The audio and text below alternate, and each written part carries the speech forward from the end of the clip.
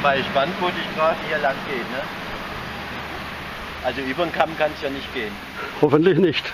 Oh, was mal, ne?